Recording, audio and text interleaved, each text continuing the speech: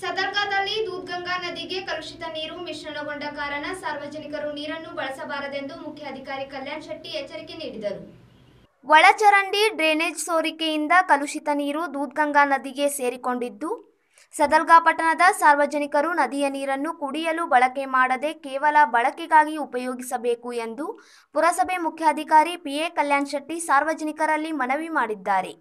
ಕಳೆದ ನಾಲ್ಕು ದಿನಗಳಿಂದ ಸದಲ್ಗಾ ಪಟ್ಟಣಕ್ಕೆ ಪೂರೈಕೆಯಾಗುತ್ತಿರುವ ದೂದ್ಗಂಗಾ ನದಿ ನೀರು ಕಲುಷಿತಗೊಂಡು ನೀರು ಗಬ್ಬು ವಾಸನೆ ಬರುತ್ತಿರುವ ಸಾರ್ವಜನಿಕರ ದೂರಿನ ಮೇರೆಗೆ ಮುಖ್ಯಾಧಿಕಾರಿ ಕಲ್ಯಾಣ್ ಶೆಟ್ಟಿಯವರು ಕೂಡಲೇ ವಾಯುಮಾಲಿನ್ಯ ನಿಯಂತ್ರಣಾಧಿಕಾರಿ ಜಗದೀಶ್ಗೆ ಮಾಹಿತಿ ನೀಡಿದರು. ಕೂಡಲೇ ವಾಯುಮಾಲಿನ್ಯ ನಿಯಂತ್ರಣಾಧಿಕಾರಿ ಜಗದೀಶ್ ಸದಲ್ಗಾ ಪಟ್ಟಣಕ್ಕೆ ಭೇಟಿ ನೀಡಿ ನದಿಯ ಮತ್ತು ಒಳಚರಂಡಿ ಡ್ರೈನೇಜ್ ನೀರನ್ನು ಸ್ಯಾಂಪಲ್ ತೆಗೆದುಕೊಂಡು ಪರೀಕ್ಷೆ ನಡೆಸಿದಾಗ ಡ್ರೈನೇಜ್ ಸೋರಿಕೆಯಿಂದಾಗಿ ನೀರು ನದಿಗೆ ಸೇರಿಕೊಂಡಿದೆ. ಹೀಗಾಗಿ ನದಿ ನೀರು ಕಲುಷಿತಗೊಂಡಿದೆ ಎಂದು ತಿಳಿಸಿದರು. ಮೂರು ದಿನ ಮಂದಿ ನೀರು ಕೂಡ ಕೊಟ್ಟಿಲ್ಲ ನಾವು. ನೀರು ಇವ್ರಲ್ಲ ಇವ ಇವ ನೀರು ಕುಡಿಯೋದಲ್ಲಿ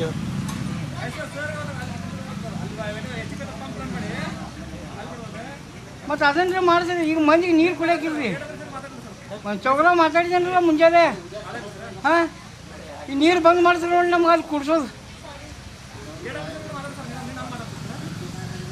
ನೀವೇನು ಎಲ್ರಿ ನೀರು ಎಲ್ರಿ ಕುಡಿಸಿ? ಒಟ್ಟು ಆದ್ರೆ ನಿಂತು ನಾವು ಇವ್ರು ಪಡ್ಕೋದಾಗಿತ್ರಿ ಇಲ್ಲಿ. ಆದ್ರಿ ನಿಮ್ಗೆ ಅನ್ಸೈತೆ ಅಷ್ಟ ನೀವು ಅಲ್ಲಿ ಕುಂತು ನೋಡ್ಬಾರ್ದು ನಮ್ಮ ಚೇಂಬರ್ ಮ್ಯಾಗ. ನಿಮಗೆ ಗುರ್ತಾಕೈತಿ